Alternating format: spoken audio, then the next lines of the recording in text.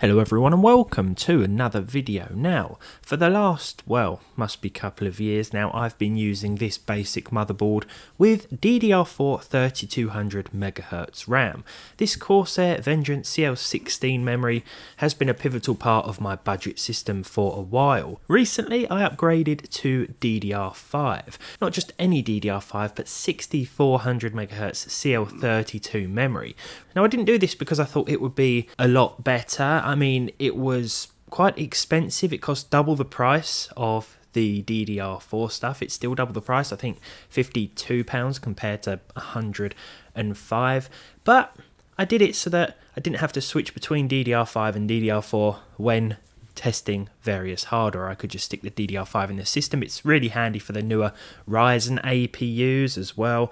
But I did get to wondering just how much of a difference will DDR5 make when it comes to using a budget CPU, something like the i3 12300 here. And to find out, I tested a handful of games with the DDR4 memory and then compared it to the DDR5 memory to see what sort of difference we could get with the average and percentile numbers. I think it's safe to say that, well, take a look at the results for yourselves and see what you think. I'll talk you through them and then we'll wrap up at the end. So let's start off today's results with Assassin's Creed Mirage. I've tested at 1080p throughout today's video.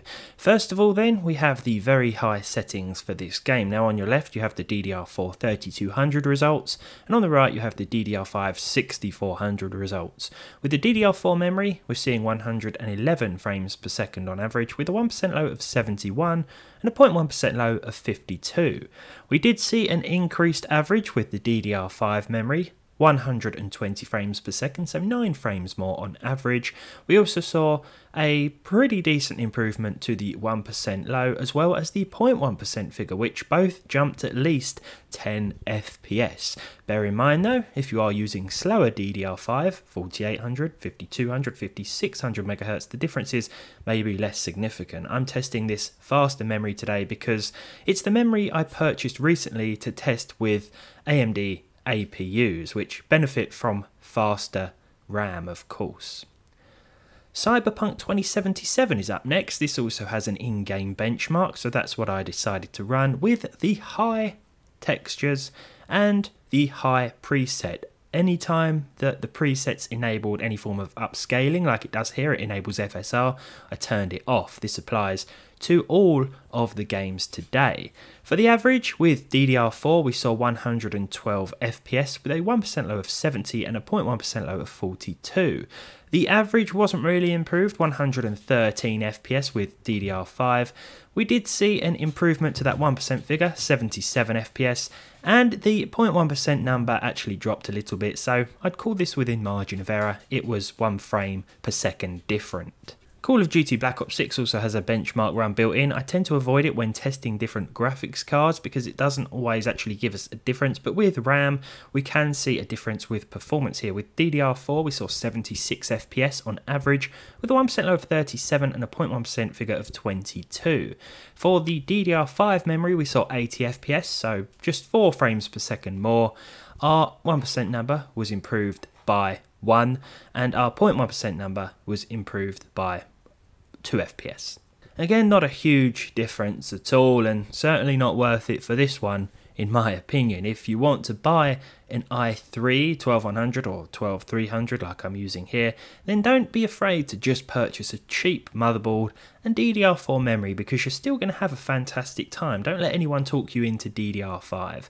For Fortnite, now this doesn't have a built-in benchmark run of course, but I dropped into the same area of the map, tested it three times across three different weather and um, night slash daytime conditions just to make sure we were getting a fair readout here. 120 fps with ddr4 with a 1% low of 66 and a 0.1% low of 21 the DDR5 result does show an improvement to the average 128 FPS, so 8 FPS more, and not only that, but our percentile lows were improved. This definitely made for a more consistent experience with the DDR5 memory, and this is sometimes more important than an average. Black Myth Wukong next. This is the full game, but we are running the in-game benchmark. Pretty much no difference here. 65 FPS for both DDR4 and DDR5 RAM kits. We also saw a basically identical 1% low, 54 FPS. That said, our 0.1% figure was actually higher with the DDR4 memory by quite a bit actually, 48 compared to 40. So it actually felt a little more consistent with the DDR4 CL16 memory as opposed to the DDR5 CL32 memory. Uh, the CAS latency is also going to play a part as well when it comes to uh, improvements and whatnot in frame times. You know, this is going to make a difference sometimes, maybe not significantly, but it's worth doing your research when it comes to buying RAM as well. There are plenty of sites that do benchmarks with RAM and always consult those before making any purchase, to be fair. Finally, then, we'll end on Red Dead Redemption 2. This also has a built in benchmark run, ultra textures here with everything else set to high. TAA was also enabled and set to high, and the geometry level of detail and grass level of detail sliders were also set to their respective maximum. The DDR4 memory gave us 111 frames per second. This is of course in pairing with our 4060 Ti as well. The 1% low was 81 and the 0.1% low was 70. A decent result here.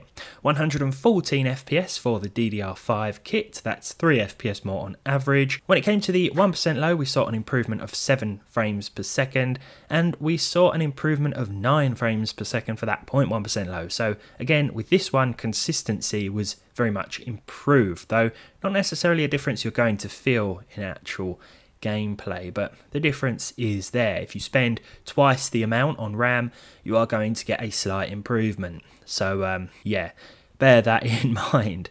This RAM cost over £100, and my DDR4, my good old trusty DDR4, cost me about 50 something. So, that's definitely worth considering if you are shopping around at the more entry level end of the market. But now, with that said, it's back to me in the studio slash office slash bedroom. So overall, yes, the expensive DDR5 will give you a performance boost. Sometimes it will totally depend on the game. Now, if you're on a tight budget, you're probably not going to want to spend more than what a CPU costs on the memory. That's just a bad idea, and for the most part, DDR4 will do you just fine. Not to mention that DDR4 motherboards are perhaps slightly cheaper depending on the socket, 1700 boards for example, and DDR4 can still be found for a lot cheaper. Again, that depends on the speed, but if we're getting a slight difference in some games with fast 6400 megahertz. If you're using something like 4800 megahertz, 5200, 5600, the difference is maybe even smaller. And the money you could save by not purchasing the more expensive RAM could actually be used on a better CPU instead. So that's also worth bearing in mind. But thanks for watching. Let me know what you think down below. And as always, I'll see you in the next one. What do you think? Any anything to share? What do you reckon? What do you think? Hmm? What do you think? DDR4 versus DDR5. What do you say? Hmm? He's indifferent, to be fair. You don't really care, do you?